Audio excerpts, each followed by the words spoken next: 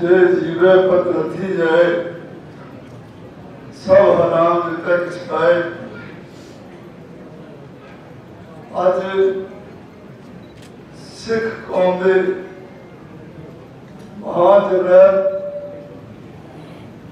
ਪੰਥ ਰਤਨ ਪੂਰੇ ਸੂਰੇ। ਮੈਂ ਤਾਂ ਰਿਸ਼ਤੇ ਤੋਂ ਤਾਇਆ ਜੀ ਸੀ ਲੱਗਦੇ, ਜਿਸ ਦਾ ਗੁਰਚਰਨ ਸਿੰਘ ਜੀ ਕੌੜਾ ਜੀ ਦੀ ਵਰਸੀ ਤੇ ਇਕੱਤਰ ਹੋਈ ਗੁਰੂ ਗੁਰੂ ਖਾਲਸਾ ਸਾਹਿਬ ਸਿੰਘ ਪੂਜੇ ਬਜ਼ੁਰਗੋ ਬਤਾਓ ਵੀਰੋ ਤੇ ਭੈਣੋ, ਫਤਿਹ ਅਰਜ਼ ਕਰਦਾ ਵਾਹਿਗੁਰੂ ਜੀ ਕਾ ਖਾਲਸਾ, ਵਾਹਿਗੁਰੂ ਜੀ ਕੀ ਫਤਿਹ। ਆਜ਼ਾਦੀ ਤੋਂ ਬਾਅਦ ਜੋ ਪੰਜਾਬ ਦਾ ਇਤਿਹਾਸ ਹੈ, ਉਹ ਅਕਾਲੀ ਦਲ ਦਾ ਇਤਿਹਾਸ ਹੈ। ਅਕਾਲੀ ਦਲ ਨੇ ਜੋ ਕੁਝ ਗਵਾਇਆ, ਜੋ ਕੁਝ ਪਾਇਆ, ਉਹੀ ਪੰਜਾਬ ਨੇ ਗਵਾਇਆ ਤੇ ਪਾਇਆ। ਔਰ ਮੈਂ ਲੰਬੀ ਥੋੜੀ ਗੱਲ ਨਹੀਂ ਕਰਨੀ।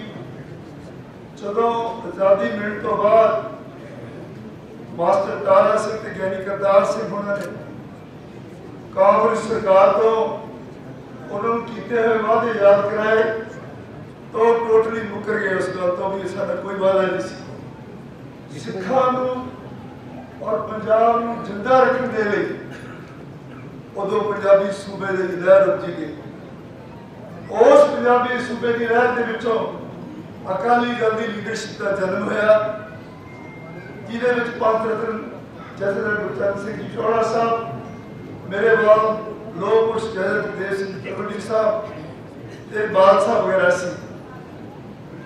ਔਰ ਸੱਚ ਕਰਕੇ ਜਾਣਿਓ, ਇਹ ਜਦੋਂ ਇਹ ਇਕੱਠੇ ਹੋ ਕੇ ਕੋਈ ਗੱਲ ਕਰਦੇ ਸੀ ਤਾਂ ਲਾਲ ਕਿਲੇ ਦੀਆਂ ਦੀਵਾਰਾਂ ਹਲਾਉਂਦੇ ਸੀ। ਦਿੱਲੀ ਨੂੰ ਘੇਰਾ ਪਾ ਦਿੰਦੇ ਸੀ। ਲੇਕਿਨ ਬਦਕਿਸਮਤੀ ਨਾਲ ਇਹ ਦੋਨੇ ਸਧਾਰਨ ਟੋੜਾ ਸਾਹਿਬ ਤੇ ਤਲਵੰਡੀ ਸਾਹਿਬ ਸਧਾਰਨ ਪਰਿਵਾਰਾਂ ਚੋਂ ਪੈਦਾ ਹੋਏ ਸੀ।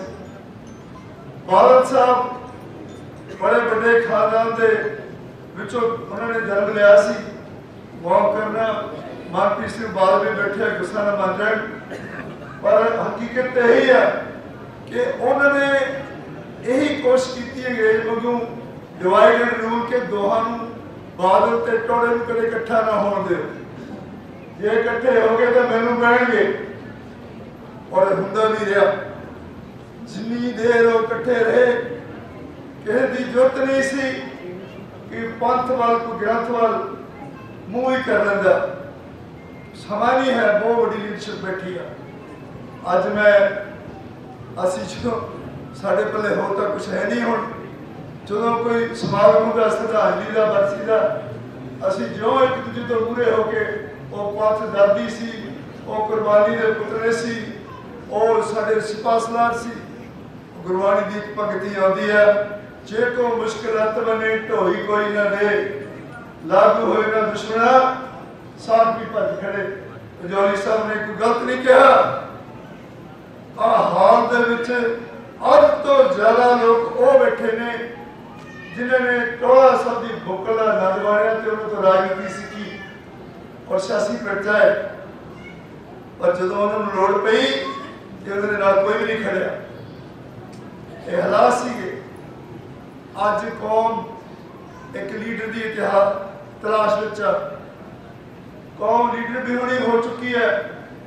ਅੱਜ ਪੰਥ ਦੇ ਮਸਲੇ ਲਈ ਇੱਕ ਅਜਿਹੇ ਵਿਅਕਤੀ ਦੀ ਲੋੜ ਹੈ ਜੋ ਸਾਰੀਆਂ ਧਿਰਾਂ ਨੂੰ ਨਾਲ ਲੈ ਕੇ ਚੱਲ ਸਕੇ, ਉਹ ਪੰਥ ਤੇ ਪੰਜਾਬ ਦੀ ਗੱਲ ਕਰੇ, ਪਰਿਵਾਰਵਾਦ ਦੀ ਗੱਲ ਨਾ ਕਰੇ, ਨਿੱਜ ਦੀ ਗੱਲ ਨਾ ਕਰੇ, ਜੇਕਰ ਇਹ ਨਿੱਜ ਪ੍ਰਸਤੀ ਪ੍ਰਾਪਤੀ ਸਾਡੇ ਵਿੱਚ ਨਾ ਆਉਂਦੀ, ਅੱਜ ਕਿਸੇ ਦੀ ਜ਼ਰੂਰਤ ਸੀ, ਅੱਜ ਅਸੀਂ ਮੰਗਾ ਮੰਦੇ ਸਾਰੀ ਉਮਰ ਅਸੀਂ ਇਹੀ ਕੁਝ ਕਰਦੇ ਰਹਿਣਾ ਮੈਨੂੰ ਯਾਦ ਆ ਉਹ ਦਿਨ ਟੋੜਾ ਸਾਹਿਬ ਤਲਵੜੀ ਸਾਹਿਬ, ਬਾਲ ਸਾਹਿਬ ਬਾਲਪਈ ਸਾਹਿਬ, ਅਡਵਾਨੀ ਸਾਹਿਬ, ਚੰਦਰ ਸ਼ੇਖਰ, ਬੀਪੀ ਸਿੰਘ, ਜਦੋਂ ਇਹਨਾਂ ਤੇ ਐਨਐਸਏ ਲੱਗੀ 19 19 ਮਹੀਨੇ ਜੇਲ੍ਹਾਂ 'ਚ ਬੈਠੇ ਸੀ।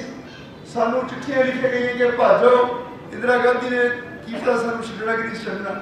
ਐਨਐਸਏ ਉਹਨਾਂ ਲੋਕਾਂ ਤੇ ਲਾਈ ਜਾਂਦੀ ਆ, ਜੋ ਦੇਸ਼ ਵਿਰੋਧੀ ਹੋਣ, ਦੇਸ਼ ਤੋੜਨ ਦੀਆਂ ਗੱਲਾਂ ਕਰਨ, ਕੋਈ ਜਿਹੀ ਗੱਲ ਨਹੀਂ ਹੋਈ, ਕੋਈ ਮਤੇ ਨਹੀਂ ਬਣਾਏ ਗਏ।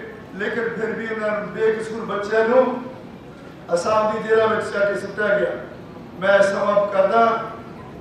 ਅੱਜ ਟੋੜਾ ਸਾਹਿਬ ਨੂੰ ਸੱਚੀ ਸ਼ਰਧਾਂਜਲੀ ਇਸ ਗੱਲ ਦੀ ਹੋਊਗੀ ਕਿ ਜਿਹੜਾ ਉਹ ਰਸਤਾ, ਜਿਹੜਾ ਉਹ ਮਾਰਗ ਖਾ ਕੇ ਗਏ ਨੇ, ਅਸੀਂ ਉਸ ਮਾਰਗ ਤੇ ਚੱਲ ਚੱਲ ਸਕੀਏ। ਪ੍ਰਮਾਤਮਾ ਸਾਨੂੰ ਸ਼ਕਤੀ ਬਖਸ਼ੇ। ਪੰਥ ਨੂੰ, ਕੌਮ ਨੂੰ ਅਸੀਂ ਜਿਵੇਂ ਗੁਰੂ ਲਾਦਰ ਦੇ ਉਸ ਉਹ ਸਿਚੁਏਸ਼ਨ ਆਈ ਸੀ ਤੇ ਸਿੱਖ ਸੰਗਤਾਂ ਨੇ ਆਪਣਾ ਗੁਰੂ ਲੱਭ ਲਿਆ ਸੀ। ਅੱਜ ਲੋੜ ਹੈ ਕਿ ਸਿੱਖਾਂ ਨੂੰ ਆਪਣੇ ਆਪ ਵੀ ਇੱਕ ਲੀਡਰ ਨੂੰ ਲੱਭਣਾ ਪੈਣਾ, ਜਿਹੜੀ ਸੁੱਚੀ ਕੌਮ ਦੀ ਅਗਵਾਈ ਕਰ ਸਕੇ। ਵਾਹਿਗੁਰੂ ਜੀ ਕਾ ਖਾਲਸਾ। ਵਾਹਿਗੁਰੂ ਜੀ